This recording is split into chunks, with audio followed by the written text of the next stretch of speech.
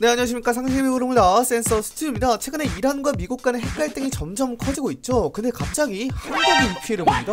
막 휘발유값 오르고 정유업체 힘들고 도대체 왜 이런 현상이 발생하는 걸까요? 고래 싸움에 새우등 터진 꼴이잖아요. 그래서 오늘은 국제적으로 가장 중요한 해협인 호르무즈 해협에 대해서 소개해드리고자 합니다 자 우선 호르무즈 해협 위치부터 알아보자고요. 호르무즈 해협은 여기 있습니다. 페르시아만과 오만만을 잇는 좁은 해협인데요. 이게 세계 지도로 봐서 넓어 보이는 거지 너비는 약 50km 정도입니다. 대형 선박이 통행할 수 있는 폭은 10km밖에 되지 않죠. 쉽게 말해서 대형 선박 한 척 정도만 이동할 수 있다는 겁니다. 근데 가장 큰 문제가 가장 좁은 구간이 이란의 영해입니다. 근데 제가 왜 갑자기 이 이야기를 하냐면 전 세계 30% 정도 해당하는 석유가 이 호르무즈 해협을 통과합니다. 특히나 우리나라 입장에선 더 큰데요. 한국은 중동산 원유 수입 비중이 80%입니다. 근데 이 중 99%가 호르무즈 해협을 통해서 공급받고 있습니다. 즉 호르무즈 해협이 막히면 우리나라는 석유를 못 받는다는 뜻입니다. 그럼 어떻게 되겠어요? 당연히 휘발유값 오르고 정유업체는 크게 흔들리겠죠? 1970년대 오일 쇼크처럼 말입니다. 근데 시간이 흐르면 흐를수록 호르무즈 해협의 중요성은 더욱더 커지고 있습니다. 1980년 이란 이라크 전쟁 이후 이란 핵 개발을 시작했습니다. 이로 인해서 미국과 지속해서 갈등을 빚어왔는데요. 하필이면 호르무즈 해협이 이란 코앞에 있어서 미국과 이란 간의 갈등이 있을 때마다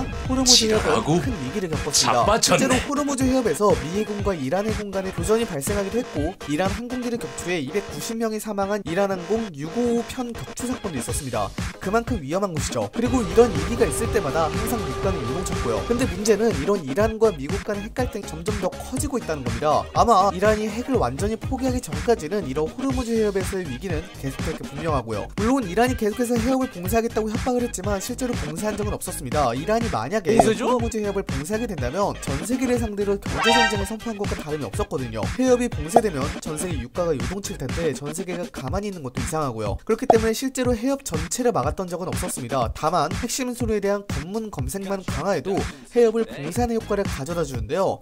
호르무즈 해협이 상당히 좁은지라 검문만 오랫동안 해도 원유 수송이 차질을 빚습니다. 그리고 또 타국 선박을 나포하기도 했고요. 실제로 2021년 1월 4일 이란이 한국의 유조선을 나포한 사례가 있었죠. 안타깝게도 현재 선장은 이란에 억류 중인 상태입니다. 현재 미국과 이란 간의 핵 갈등이 점점 커지는 가운데 이란이 호르무즈 해협을 봉쇄할 수 있겠다라는 전망도 나오고 있습니다. 아니 센서님 솔직히 말이 안 되죠. 어떻게 이란이 호르무즈 해협을 봉쇄해요? 뭐든지 심각하게 보고 방안을 찾아야 합니다. 방안도 제대로 안 만들었다가 진짜로 봉쇄하면 어떡하려고요. 아무도 모르는 일이니까 미리 준비하는 게 낫죠. 만약에 호르무즈 해협을 봉쇄했다면 대한민국 석유 안보 위기로서의 전면적인 대응이 요구될 겁니다. 대한민국의 원유 공급 80%가 막히는데 당연한 거겠죠. 그래서 대한민국 정부는 이에 대한 준비를 미리 해놨습니다. 석유 및 석유 대체연료 사업법이라는 법안이 있습니다. 이 법은 정부가 61분 정도, 민간이 31분 정도의 석유를 비축토록 한다는 법안인데요. 실제로 이 법안에 따라서 80년대부터 대내의 석유 수급 불안에 대비한 전략 석유 비축을 추진해왔습니다. 현재까지 총 9,580만 배럴 정도의 전략 비축률을 보유하게 되었는데요. 이 정도 물량이면 현재 전체 일평균 소비량을 기준으로 해서 34일 정도를 버틸 수 있는 물량입니다. 진짜 필수분만 쓴다면 94일까지 사용할 수 있죠. 또 별개로 1993년에 민간 비축 의무 제도도 정비가 되었습니다. 민간의 석유 정지업자나 LPG 수출업자 및 판매업자는 15일에서 40일 정도의 비축률을 의무적으로 보유하도록 하는 제도입니다. 민간의 비축률까지 합치면 한국은 70일 정도를 버틸 수 있죠. 진짜 최소한만 쓴다고 하면 186일까지 쓰고요. 물론 이건 단기간 해법입니다. 186일까지 버틸 수 있는 비축률을 모아놨다 하더라도 호르무즈 해협에서 발생하고 있는 일련의 사건들이 그 이상 장기화가 된다면 말짱 도루묵입니다. 그렇게 되면 우리나라는 오일 쇼크를 그대로 맞게 되겠죠. 미리미리 준비를 할 겁니다.